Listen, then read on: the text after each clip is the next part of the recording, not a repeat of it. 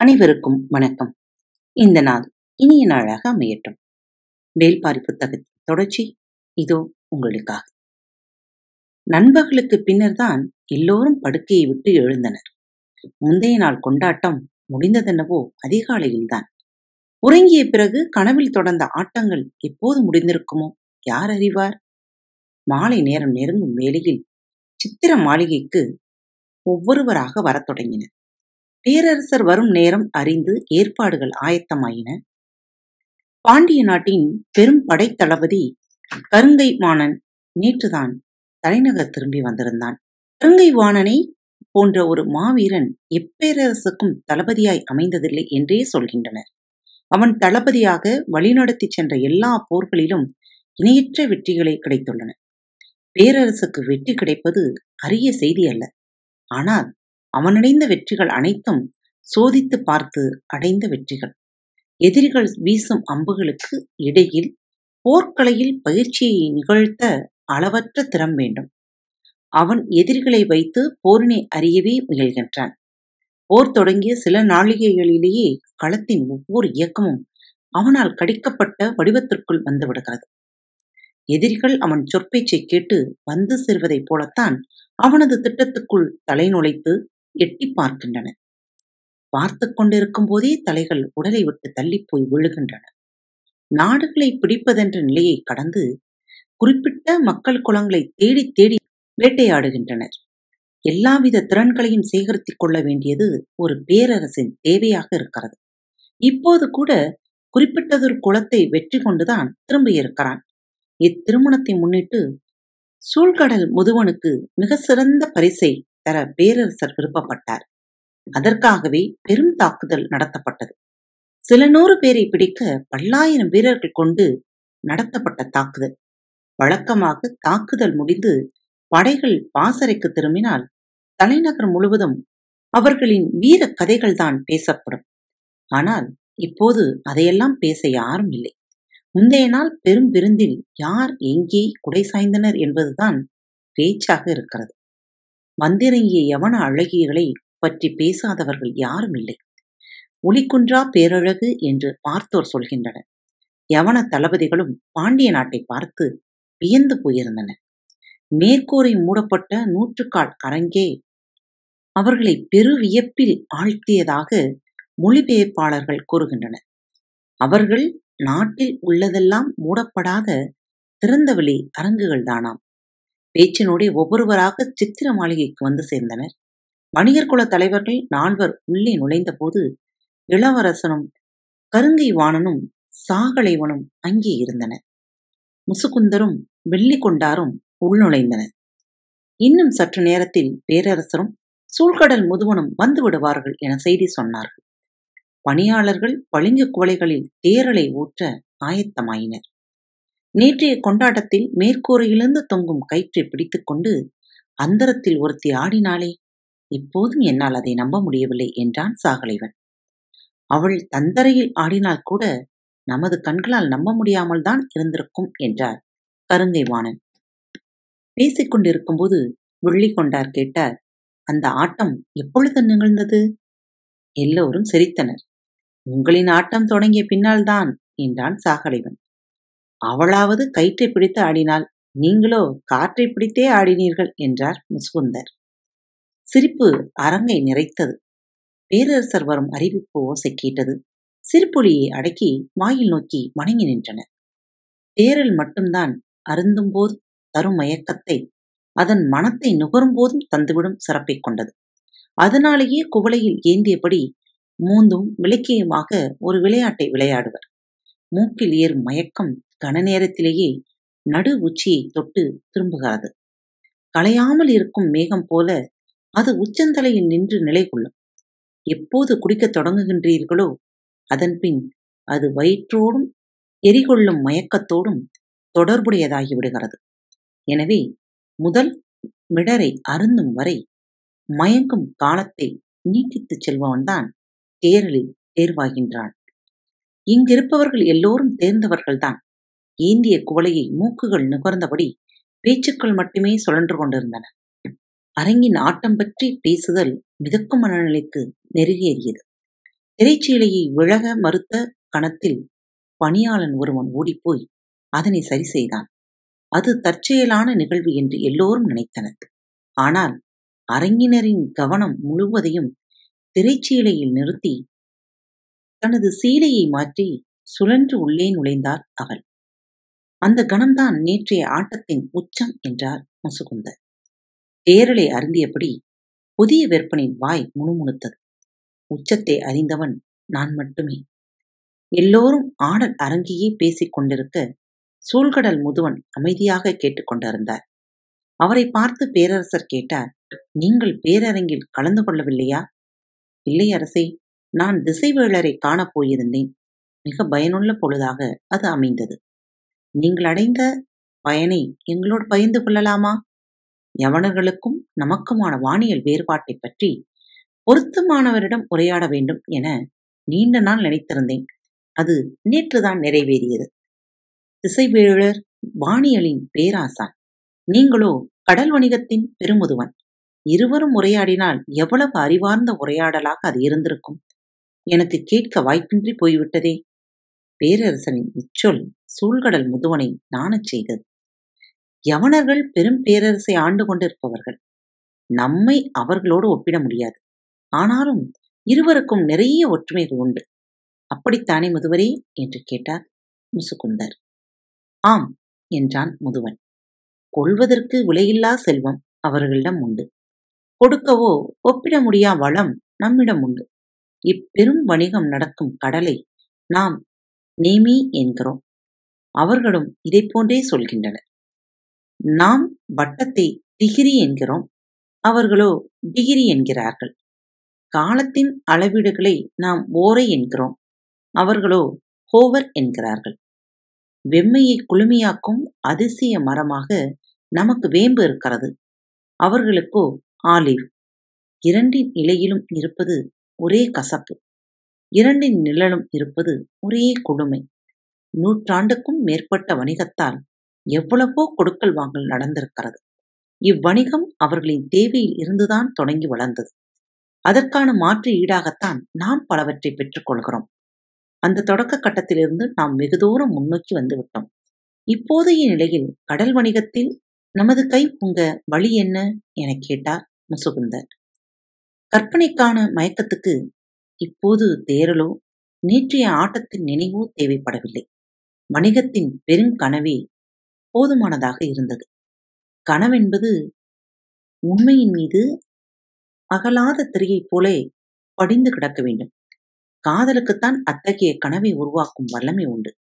அதனாலேயே கைகூடாத காதலுக்கு பெருந்தண்டனையை கனவுகளே அளிக்கின்றன என்றால் பொற்சுவை. வைகரையின் கரையோரம் பூவிழி மன்றத்தில் இருந்து ஓடும் நதியை பார்த்து கொண்டே பொற்சுவை கூறியது சுகமதிக்கு அதிர்ச்சியை தந்தது. சக்கரவாக பறவை கடலின் குறியீடாக மட்டுமல்ல காதலின் குறியீடாகவும் இருக்கிறது எனவே அவ்விடம் விட்டு வெளியில் வருதல் நலம் என தோன்றியதால் வைகரிக்கு அழைத்து வந்தாள் சுகமதி. நதி கனவோடும் காதலோடும் கலந்த ஒன்றல்லவா? அதுவும் வைகை. காதலர் திருவிழாவை காலங்காலமாக தனது உள்ளங்கையில் வைத்துக் கொண்டாடும் நதியல்லவா இங்கு வந்தால் வேறு எதன் நினைவு வரும் என்று நீ நினைத்தாய் எனக் கேட்டாள் பொற்சுவை.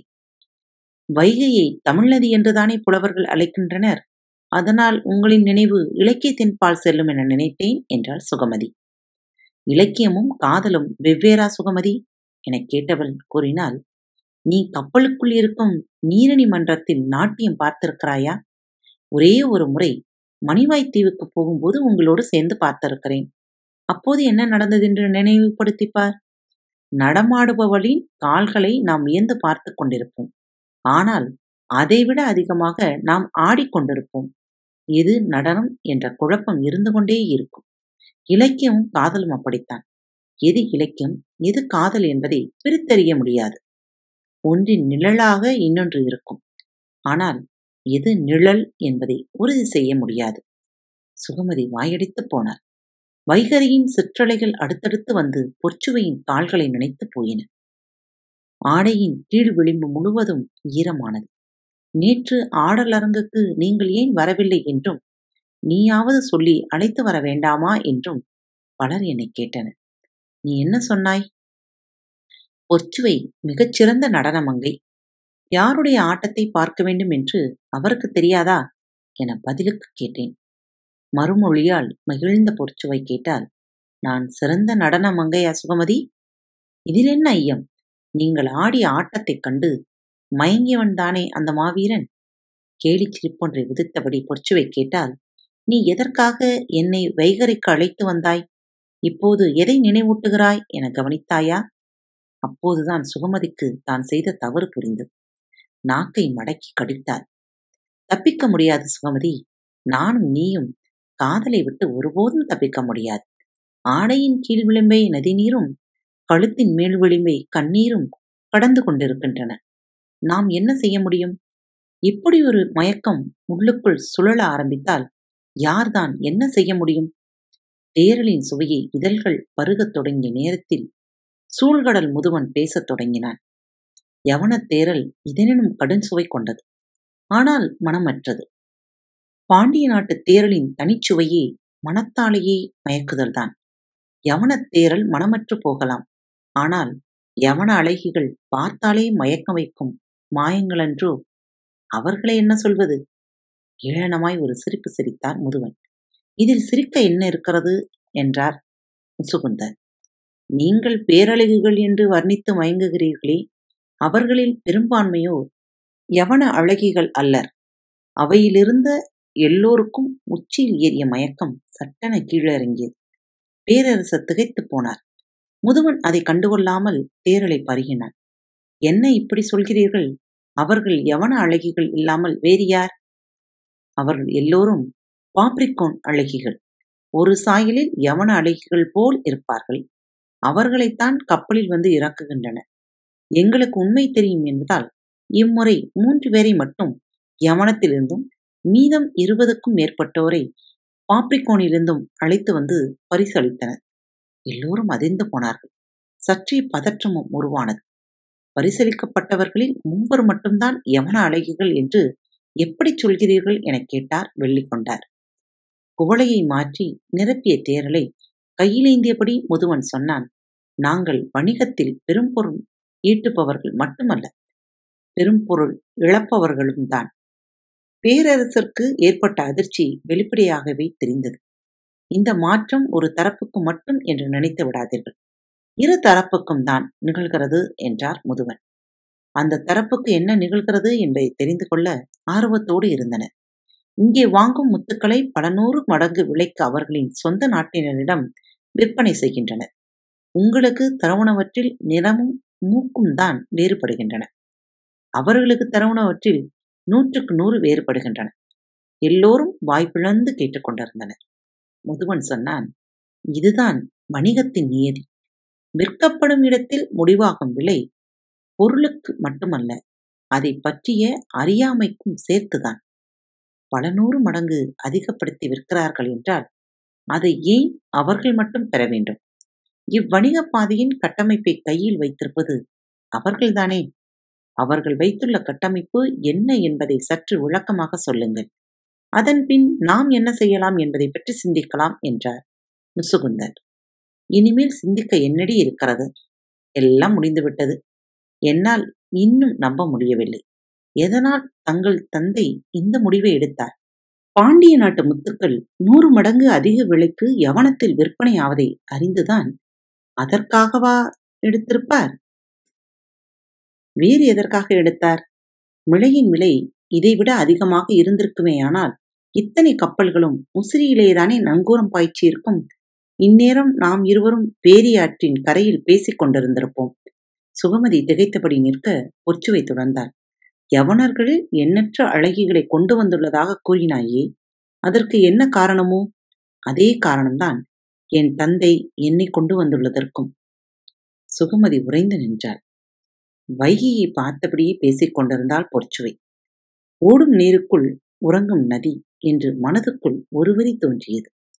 அதுதான் பெண்ணினமும் தோன்றியது. சுகமதி அமைதியாக கேட்டுக்கொண்டிருந்தார் பொற்சுவை சுகமதியை பார்த்து கேட்டால் என்ன சுகமதி பேச்சற்று போனாய்?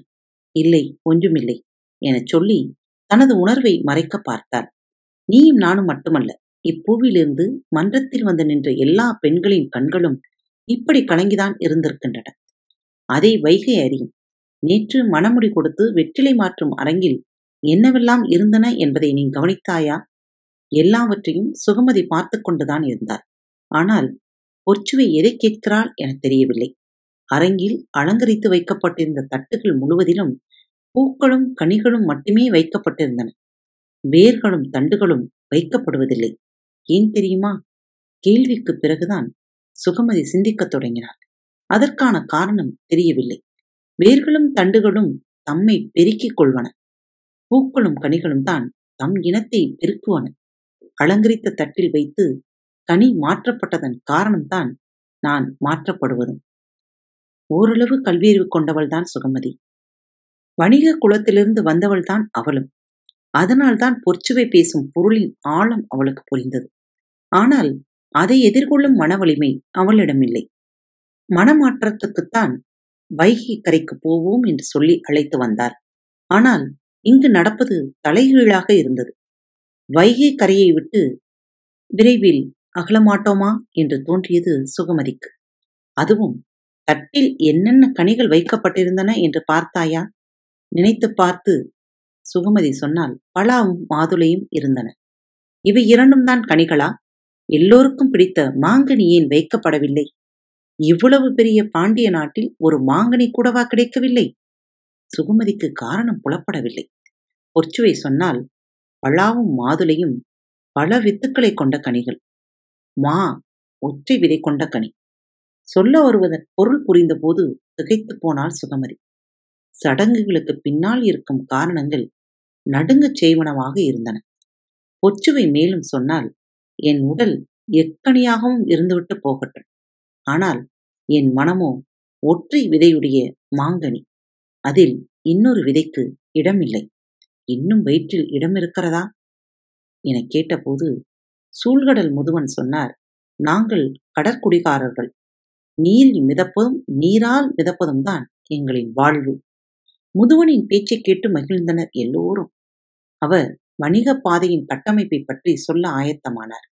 அதை கவனித்த பேரரசர் கூறினார் இவ்வுரையாடலின் போது திசைவேழரும் இருந்தால் பொருத்தமாக இருக்கும். அவரை அழைத்து வாருங்கள் என்று உத்தரவிட்டதும் பணியாளர்கள் ஓடினர். அவர் வந்ததும் இதை பற்றி பேசுவோம் என்றார் பேரரசர். திசைவேழர் தென் திசையின் மாளிகையில் இருக்கிறார். இங்கிருந்து போய் அவரை அழைத்து வந்து சேர நேரமாகும். முதுவன் சொல்லத் தொடங்கும் போது தந்தை ஏன் இப்படி செய்துவிட்டார் என மனதுக்குள் புலம்பினான் இளவரசன்.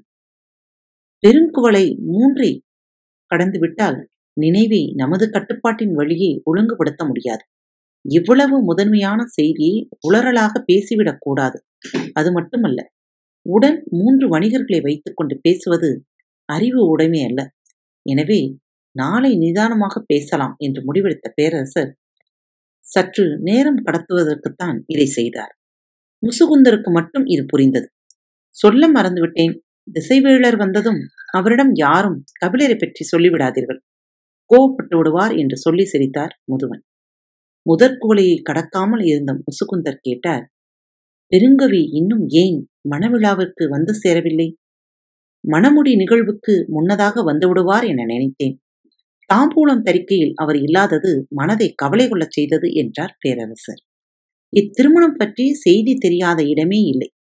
தெரிந்தால் அவர் வராமல் இருந்திருக்க மாட்டார். ஒருவேளை நெடுந்தொலைவுள்ள தீவு எதற்கேனும் போயிருந்தால் செய்தி எட்டாமல் போயிருக்கலாம் அல்லவா? முதுவன் சொன்னான் இல்லை. எல்லா தீவிலிருந்தும் வணிகர்கள் வந்துவிட்டனர். இத்திருமண செய்தி தெரியாத பகுதி நிலப்பரப்பில் எங்கேனும் இருக்கலாம். தீவுக்குள் எங்கும் இல்லை. கடலும் கடல்சார் வாழ்வும் தானே உங்களுக்கு அமைந்தது? நீங்கள் எப்படி செடி கொடி காய்கனிகளை பற்றியெல்லாம் இவ்வளவு அறிந்திருக்கிறீர்கள்? வைகையில் இருந்து மாளிகை திரும்பும் வழியில் சுகமதி கேட்டால் மறுமொழியின்றி அமைதியாக வந்தால் பொச்சுவை பேச்சக்கரம் முருளும் ஓசை மட்டுமே கேட்டுக்கொண்டிருந்தது நான் எதுவும் தவறாக கேட்டுவிட்டேனோ? இல்லை மனம் ஆசானிடம் போய்விட்டது. அவர் எனக்கு கற்றுக் கொடுத்தது ஏராளம். அவரை பார்க்க கண்கள் ஏங்குகின்றன. அவர் ஏன் இன்னும் மனவிழாவுக்கு வராமல் இருக்கிறார்? அதை பற்றி நான் சிந்திக்கவில்லை. அவரை பார்த்தால் அந்த கணமே உடைந்து அழுது விடுவேன் அவரை நினைத்தாலே மனதில் பதற்றம் பற்றிக் கொள்கிறது. அதனாலே நினைக்காமல் இருக்கின்றேன். இப்போது நீ அவரை நோக்கிய நினைவை கிளறி விட்டு விட்டாய். இன்னும் சில நாட்கள் தானே இருக்கின்றன. அதற்குள் வந்துவிடுவார் என நினைக்கிறேன். வருவதாக இருந்திருந்தால் எப்போதோ வந்திருக்க வேண்டும். அதற்கான நாட்கள் கடந்து விட்டன இனி அவர் வரமாட்டார். பாண்டிய பேரரசின் போற்றுதலுக்குரிய பெருங்கவி உங்கள் பேராசான். பின் எப்படி வராமல் இருப்பார்? இம்மணமிழா பற்றிய செய்தி தெரிந்திருந்தால்தானே வர முடியும்? வேந்தர்கள் அனைவருக்கும் சிற்றரசர்கள் எல்லோருக்கும் அழைப்பு அனுப்பப்பட்டுள்ளது. தீவு கூட்டங்கள் எங்கும் இருந்து வணிகர்கள் வந்துள்ளனர் அவருக்கு தெரியாமல் இருக்க வாய்ப்பே இல்லையே. உதட்டோரம் சின்னதாய் ஒரு சிரிப்பை உதிர்த்துவிட்டு பொற்சுவை சொன்னால் அவர் பரம நாட்டுக்கு போயிருந்தால் எப்படி தெரிந்திருக்கும்? சுகமதியின் கண்கள் இமைக்காமல் நிலை கொண்டன பொற்சுவை தொடர்ந்தால் இது போன்ற செய்திகள் சென்றடையாமல் இருக்கும் ஒரே நிலப்பகுதி அதுவாகத்தான் இருக்க முடியும். ஆசானும் அங்கு போக வேண்டும் என்று பல ஆண்டுகள் விருப்பத்தோடு இருந்தார். அது இப்போது நிகழ்ந்திருக்க வேண்டும். சற்று இடைவெளி விட்டுச் சொன்னால் என் கண்ணீர் அவரை வெகு தொலைவிலேயே நிறுத்திவிட்டது சுகமதி. காத்து கொண்டிருங்கள் மீண்டும் வேள்பாரியின் தொடர்ச்சி நாளை காணலாம். மறவாமல் யூடியூப் சேனலை சப்ஸ்கிரைப் செய்து கொள்ளுங்கள். உங்கள் நண்பர் மற்றும் தோழியருடன் பகிர்ந்து கொள்ள மறவாதீர்கள். வேள்பாரியின் கதை பாரத் தமிழ் பாட்காஸ்ட். வழியொலி பக்கத்திலும் வேள்பாரி புத்தகத்தின் பகுதி ஒளிபரப்பாகிறது. முடிந்தால் அதிலும் கேட்டு மகிழுங்கள். மீண்டும் நாளை சந்திப்போம். இப்படிக்கு உங்கள் அன்பு தோழி